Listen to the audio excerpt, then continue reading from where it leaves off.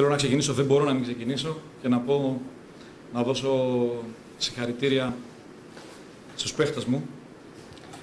Είμαστε μαζί από τις 12 Αυγούστου.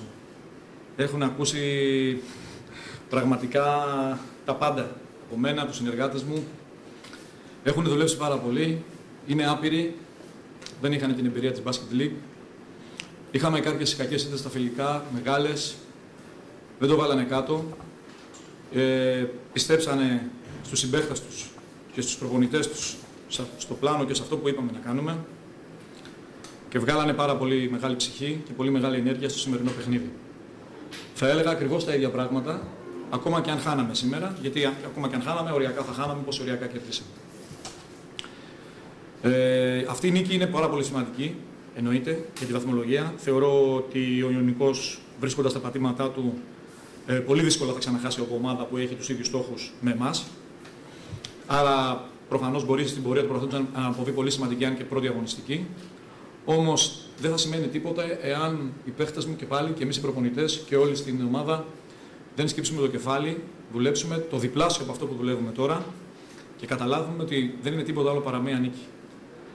Ε, θεωρώ ότι έγινε ένα παιχνίδι το οποίο όποιος το βλέπει φίλαθλος ε, ουδέτερος ευχαριστιέται για το επίπεδο του πρωταθλήματος και από εδώ και πέρα μας περιμένει η δεύτερη αγωνιστική. Ευτυχώς πιστεύω για μας, το λέω και δημόσια.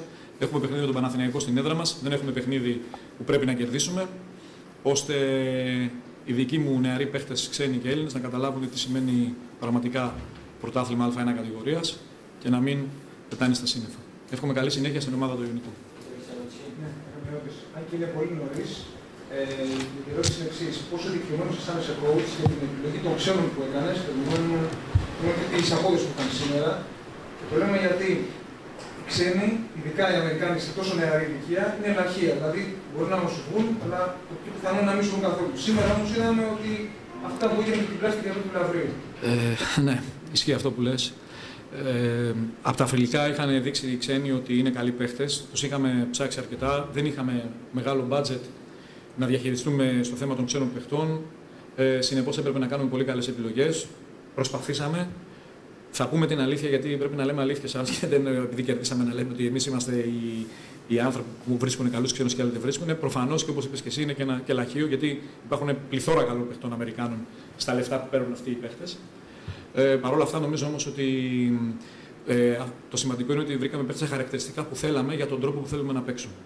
Στα φιλικά είχαν δείξει καλά στοιχεία. Αυτό που είχαν δείξει όμως και στα φιλικά ήταν ότι είχαν εύκολα τη συγκέντρωσή τους όταν ε, αντιμετωπίζαν μια ομάδα ίδιου επίπεδου και με πιο έπειρους παίχτες. Και πολλές φορές χάναμε φιλικά ενώ ήμασταν κοντά στο σκορ, χάναμε μεγάλες διαφορές. Προσπαθήσαμε όσο, μπορώ, όσο μπορούσαμε να το εξηγήσουμε αυτό και να μείνουμε μες στο παιχνίδι. Νομίζω ότι βοήθησε η πρώτη αγωνιστική, το πιστεύω αυτό για τον Ιωνικό, γιατί η ομάδα που παίζει στην έδρα της πάντα έχει μεγάλο άγχος για να πάρει το match, ανεξαρτήτου ε, budget και παικτών. Είναι πάντα η πρώτη αγωνιστική και είναι πολύ δύσκολη και γι' αυτό είδαμε και αυτό το αποτέλεσμα. Θέλω να πιστεύω όμως ότι και αυτή είναι η δουλειά μας από εδώ και πέρα. Πρέπει να βάλουμε το κεφάλι κάτω να τους εξηγήσουμε ότι δεν έχει τελειώσει τίποτα με ένα παιχνίδι. Αν έχουν την ίδια σταθερή απόδοση, προφανώς θα τους ψάχνουμε και αυτούς να τους βρούμε κάπου αλλού.